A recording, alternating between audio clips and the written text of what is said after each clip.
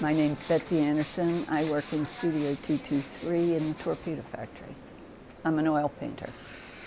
I've been here since 1980, long time, in this very studio. I've always worked in oils. I was an oil painter in college, and um, at that point they didn't have acrylics. I like the way uh, oil paints dry slowly. I like to be able to work into the paint so I've always used oil paints. All my work is based on landscapes and places I've been. We're a learning art center, so people come here to see how artists make art. And so that's part of our, our deal, that we have to talk to them and show them what we do and engage them any way they like. I've been here over 30 years, and I'm used to having people watch me paint. Um, before that, I did teach, so I was used to having people watch me paint then. So I'm not bothered by having uh, people walk in and out. And the other wonderful thing about being here is that we have all the artists here. So when I have a problem or I just want somebody's opinion, I have a lot of people to go ask. I listen to music when I'm painting. So um, depending on whether it's jazz or classical, I think that does affect what I'm doing. And I think I pick the music I'm going to listen to when I have started a painting. I know what kind of music I want to use.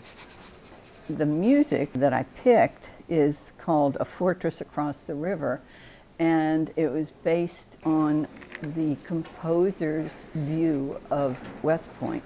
His father had been in the military, not at West Point, but uh, he was just inspired by the place. And my husband went to West Point, and uh, so I'm familiar with it. Because I was thinking of the title, I already had envisioned the design I was going to use. When I listened to the music, it particularly affected the colors I decided to use. My colors have nothing to do with the colors you would really see there, but it's my impression, my feelings about West Point and that's how I come out with the colors I do. So although I may think that this is rather realistic, um, most people don't. I think I chose the music I chose was because it made me think of a landscape.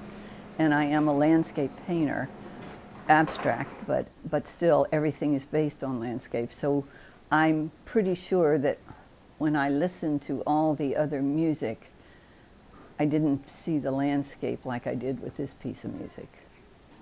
I like painting to music, and I just thought it was a good thing to try out.